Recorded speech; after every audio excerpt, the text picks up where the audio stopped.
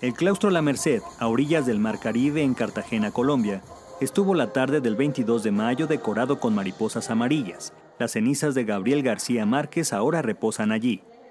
Estudiantes de la Universidad de Cartagena representaron a los personajes del mundo de Macondo y en el centro de la plaza se encontraba el busto de García Márquez para ser develado. Allí en la plazoleta estuvo reunida toda la familia García Márquez y amigos. La develación tuvo el acompañamiento de la Filarmónica de la Universidad de Cartagena con la interpretación de la pequeña suite del maestro Adolfo Mejía.